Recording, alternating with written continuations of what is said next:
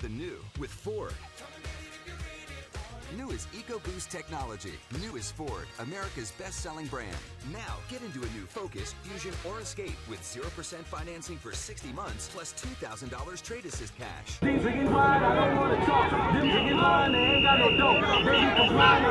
Everybody's loving the new offense and the new defense, and we're all just trying to, you know, understand a little bit better so we can play faster. And uh, we're really just looking forward to, you know, playing some real football uh, come August, September.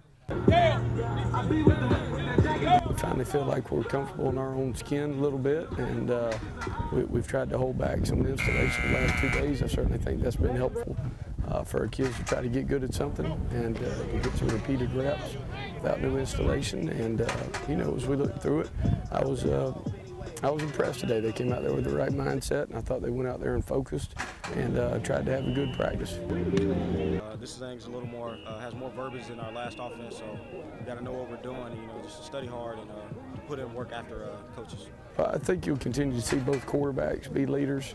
Uh, I think guys that you'll continue to see from a leadership standpoint of doing the right thing over and over again is certainly B.J. Johnson, Wesley Fields, and uh, and those guys stand out to me uh, more than anybody else.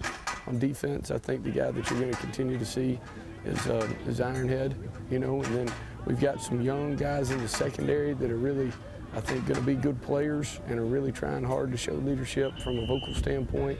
Uh, Darius Jones is getting better each day, and uh, and I think he's doing better with his leadership.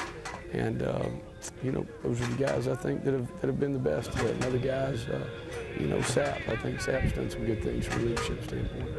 Georgia Southern and of South Georgia and Statesboro, uh, football is important. And, uh, and when you're at a place where football is important, it makes your day better because it makes everybody uh, believe in the same things.